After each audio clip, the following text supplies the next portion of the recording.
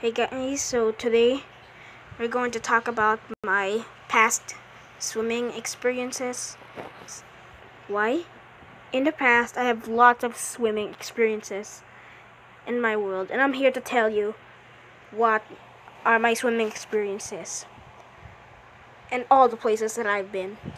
The first place is back in 2012 in the Makati Executive Tower, where I swim with my mo- with my with with my dad in the, in the at the top floor with the penthouse. I mean, the, and the me me the one on the the one on red is me, and the one on green is my dad.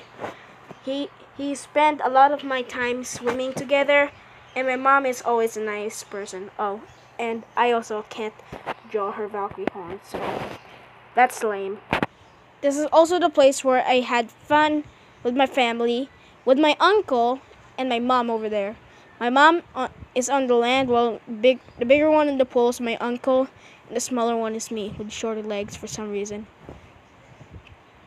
More information coming soon.